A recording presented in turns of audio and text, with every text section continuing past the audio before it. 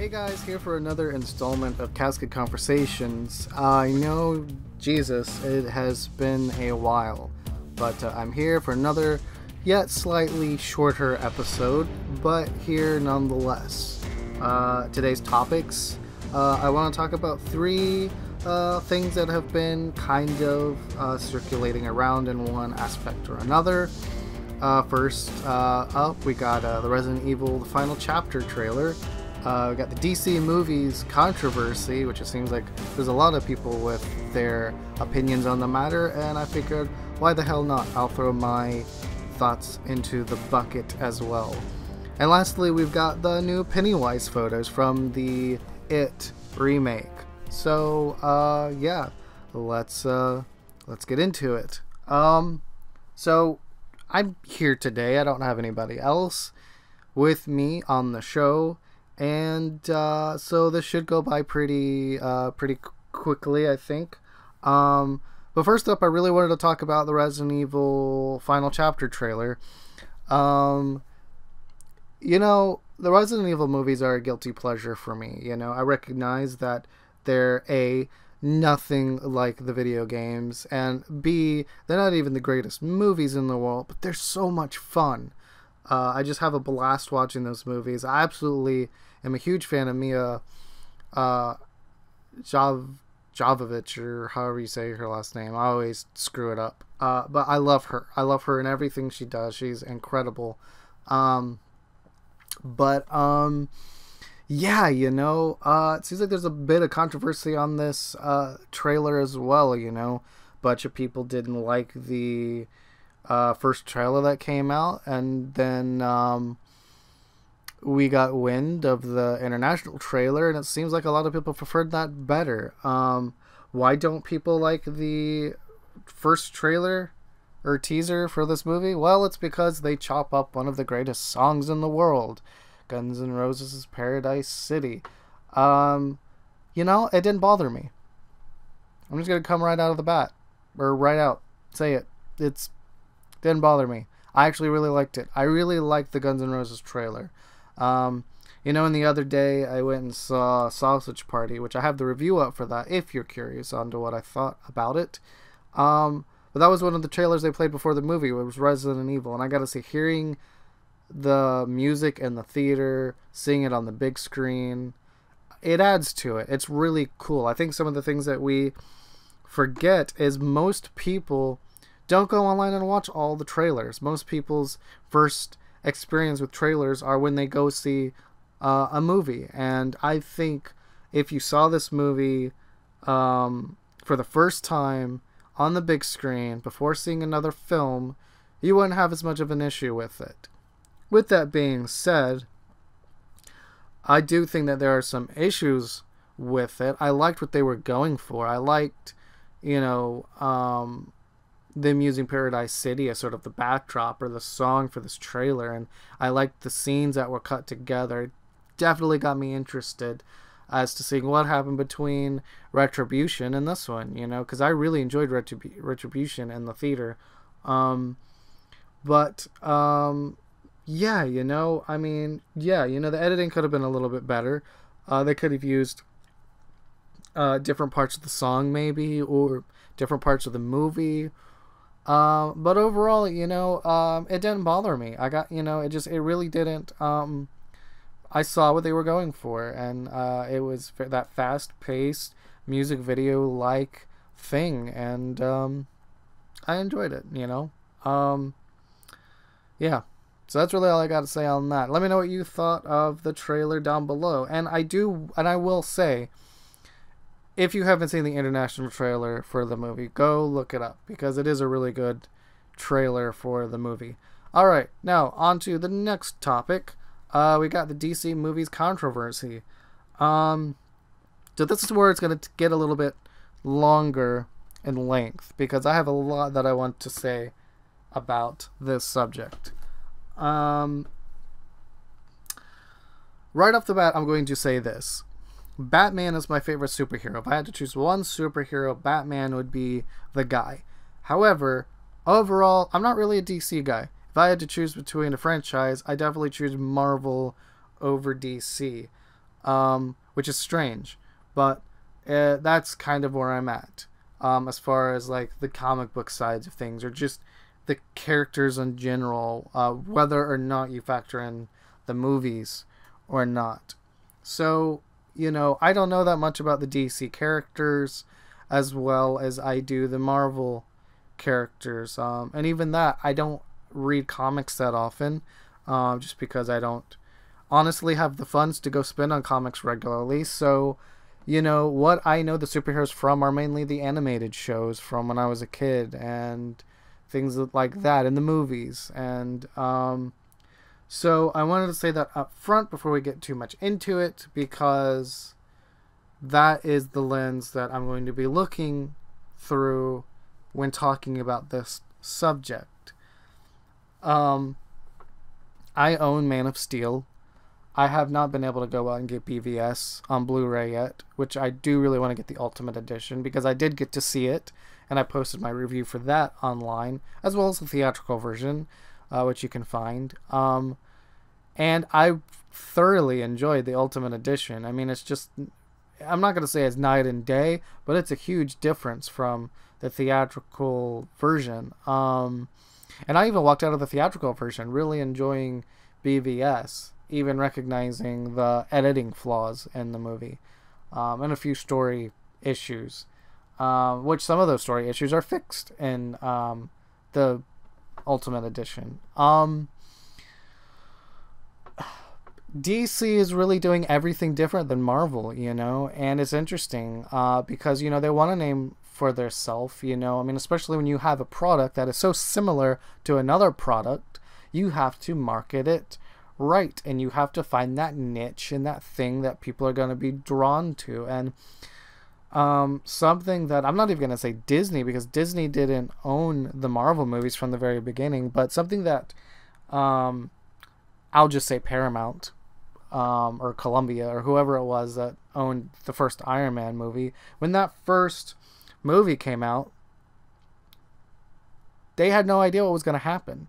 You know, it could have very well been just as much of a bomb as it was a success. Um, and then they kept turning out movie after movie. You know, we got Iron Man, and then we got the Incredible Hulk, and then we got Captain America, and then Thor, and then we got the Avengers. And here's the, th- or we got Iron Man 2 as well. I forgot to mention that one. Uh, we got Iron Man 2 after Hulk, I believe it was.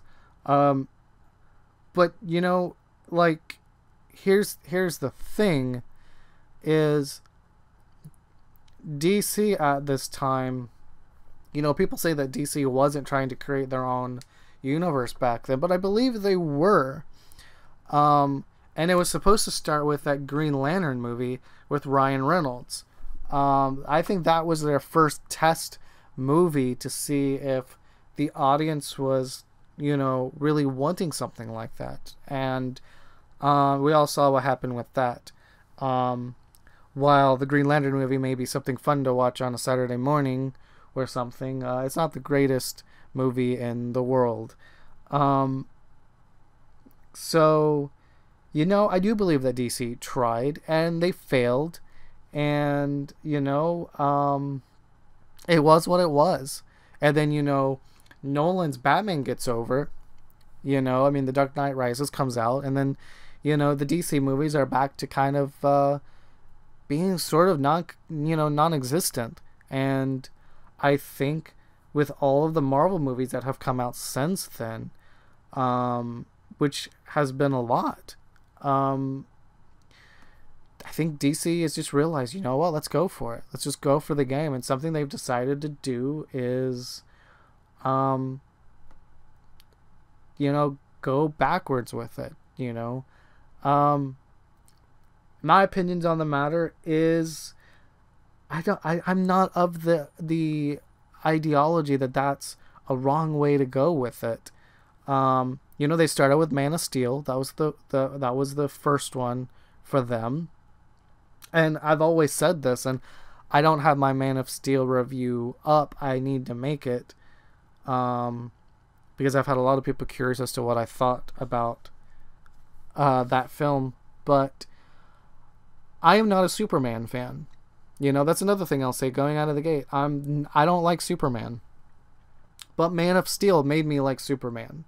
You know, like before Man of Steel came out, there you would have never gotten me to watch any of the old Superman movies or the Superman cartoon or anything like that because the character I think is uh I see him more as I don't see him as a superhero. You know, it's kind of weird, and because because he's an alien, and so it's hard for me because he's an alien that is marketed as a superhero, and I will. It's hard for me to see him as anything more than just an alien. You know, it's like he's not a, he's not a superhero. He's just he's he's an alien. Um. And you know he's really godlike, and it's like really super hard to take him out. You know, the reason I like superheroes is because they're flawed, because there's ways, some, a lot of ways to take them out, but they always end up rising above. Um, and you take that away, and they're just gods with powers. And that's why, for me, Superman doesn't work. And, you know, and Superman was really special for when the character came out and was created and everything, but in this day and age, I just think he's just like an old he's just an old fart, you know, just it doesn't work. So I was excited for Man of Steel when it was coming out just because Nolan's name was attached to it. Uh, and I am a Snyder fan, don't get me wrong, but uh, but I'm a Nolanite through and through. I'm an absolute Christopher Nolan fanboy, and seeing his name attached to it in any respect made me go, okay, you know, well, let's see. And I unfortunately didn't get to see it in theaters, but I did buy the Blu-ray um, after it came out, and it's a great movie. Man of Steel made me like Superman again. So, um, here's my thing. Firstly, let's talk about Batman v Superman. We'll talk about them in order, I suppose and I said this in my reviews, but uh, to save you from going, in case you don't really want to sit through whole reviews, this is my through and through thought on the matter, uh, considering the whole thing. Um, the problem with the theatrical version of BVS is I didn't get I didn't win like spoiler if you haven't seen BVS spoiler but when when Superman dies I didn't cry. I didn't feel anything. Even during the funeral scenes, I, didn't feel anything. I didn't care. I could have cared less, actually. Or I couldn't care less. Um, because it, just, it wasn't done right, you know? Um, but I kid you not, I was sitting watching the movie on my laptop and I was literally sitting there with the Ultimate Edition like bawling my eyes out over this character that previously I didn't care f- I didn't care about. And for me that was the winning factor. And look, and we can argue all day or not whether Zack Snyder should have planned for a 3-hour movie or not. But that 3-hour movie works. I'm not saying it doesn't have a few flaws here and there, but it works theatrical version doesn't. And this is again someone who doesn't like Superman. And this movie shows you so much more about the character. It really gets you invested in Superman and everything. And a lot of the controversy goes fr- from because again, and there's been a lot of people on YouTube that have talked about this, and I'm gonna again add my name to this list. Before the movie came out, when there was a bunch of critics that went and saw the movie and got to see it and all these good things were coming out or these fan screenings too i think there were the movie they saw was the three hour version. Why they nearly basically at the last minute decided to cut the movie down i don't know. And that shot them shot them in the foot. That completely hurt them in the long run. So then we get suicide squad and, you know, again, they hire on a director like David Ayer, which is a really good director. Um, they watch his version. It's more dark than they want it to be. So they go and do all these research and they switch it up and they change it. And look, I don't know how different David Ayer's version is from the theatrical, but I gotta believe it's better than what we got in the theatrical version. I gave Suicide Squad a 7 out of 10. It's it's passing, but barely, in my opinion. You know, the things that really made me love the movie were Margot Robbie, Jared Leto, and um, and Deadshot and Will Smith. Um, everything else about the movie. Oh, and I, I did like um, Amanda Waller, uh, speaking of Viola Davis. I almost forgot her name. So those four. That's it. The rest of the movie, honestly, you could have changed the whole thing and it it, it would have played out better. You know?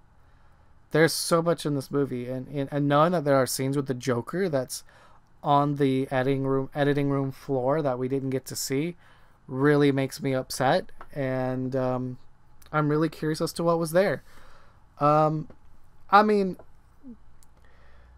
the thing that made Suicide Squad more of a win than a loss for me was I came out really enjoying myself, you know. Um, because the characters are a lot of fun. And this isn't a and, and look, this is not a diss on any of the actors or actresses in this movie because it wasn't their fault at all. Um like at all because all of them were superbly well cast as these characters. The problem was the story. It didn't play well. The, you know, even, um, you know, Enchantress, uh, what's her face? Um, she was cast great as the character, but they fucked her over. And that's just there's there's no other way to say it. They did. They fucked her over. Not good. Not good at all not only that is the the third act of this movie is the same third act that I've seen and at least two other movies that have come out this year alone. So when you have all these things together, I think what it's going to take for people to start getting more on the side with Warner Brothers and what they're trying to do with the DC movies is to take their fingers out of the pie. And look, I don't anybody with a brain will understand the idea of you're investing into this movie, it's your money. You want to make sure that it's going to be successful, and frankly, there are going to be some things that maybe you don't want in the movie. But there's a big difference between that and just completely abolishing the vision of the director. And you know, I think Ayer is being really classy without saying anything overtly horrible or mean or bad about Warner Brothers because that's just good business. You know, you're not supposed to do that. But at the same time, I want to see his version of the movie. I'm really curious. If they release tomorrow the David Ayer version of Suicide Squad, I would go see it. You know, um, because I really know, I really want to know what the difference was. So, anyways, that's my take on the matter. Um, by far, Man of Steel, I think, still has has been the best movie out of the three to come out. Um, I'm really excited for Justice League, and I think Wonder Woman will be the next best movie. Um, I don't think Justice League has a chance of being better than Wonder Woman at this point. Um, not if they're pulling a lot of the same shit that they have with the last two movies. They need to just go in and make the movie I let us fans be the determining factor of whether it's good or not. And that's what I think. All right. So, on to the last topic. Uh, Pennywise photos. Um, so, look. This isn't going to uh, to be very long. Clowns scare me. And I'm not even talking about scary clowns. I'm talking about clowns. I don't like clowns. Um, I think maybe Ronald McDonald is maybe the only clown that maybe doesn't scare me. Um, but even under the certain light, he would scare me. But he's the only one that has a chance. Um, I don't like clowns. I don't like clowns. A lot of that has to do with the original TV movie of Stephen King's It with Tim Curry as It. Freaking scared the living shit out of me. And I've never liked clowns since. Um, I've always said this, and I'll say this again. I have mad respect for Stephen King, just as far as his books go, because he's the only person that, with words, scared the living crap out of me. I was reading one of his books, and um, I forget the name of the actual story, but it scared the living it scared the living peewat out of me and I was in middle school at the time, and I remember getting to the end of the story, and I was like, uh-uh, and I closed the book, and I literally, I threw it across the room. I was like, nope, done. Mad respect, bro. I'm not going to sleep tonight. Um, so I love his stories, and even his less, like, straight horror stories, you know, but like Stand By Me or Shawshank Redemption. He's just such a good author, and I think it's about time that it gets a theatrical version made. I think it's got a lot of potential to be really good, firstly, but also really creepy. So these photos come out, and they're good. They're good. I buy, I buy these photos. I mean, I, they they they scare me. They're creepy. Um, I can only look at them at them so long before going, you know. So I'm I'm really excited. I'm I, I really am. You know, there's really not much more I can say other than that. You know, I'm sort of a newbie when it comes to horror movies. Um, I've been trying to go back and watch a lot of the classics, and um, you know, I just watched um, Hellraiser for the first time not that long ago, and really really enjoyed that one. Um, and I watched I found uh, Phantasm, and I watched that, and that was really good. Um, so you know, uh, yeah, you know, I, I I will be really excited to see what this movie will be like and whether it's actually any good or not, because I think Skarsgård has the best chance of doing this role very, very, very well. So anyway, that's my take. Again, a little bit of a shorter episode. But um, that's all I got for this go round. I hope you enjoyed it. Please, if you liked it, drop it a like. Um, subscribe if you enjoy the content. There's a lot more here. I do movie reviews and TV show reviews. Uh, a lot of things. I just finished uh, season two of Penny Dreadful, so I will be making uh, a video for that soon. Um, as well as uh, some other stuff coming. Um, and let me know uh, what you guys think down in the comments on whether or not you want me to go back through uh, the first um, seasons of Game of Thrones, episode by episode. Because I was thinking about going back through the show um, the end of this year. And um, I'm curious as to whether or not you guys would want me to do reviews for that. Um, so let me know. Hope you guys enjoyed it. You guys can find me on Twitter and Instagram, and I'll see you in the next episode. See you later, guys. Bye.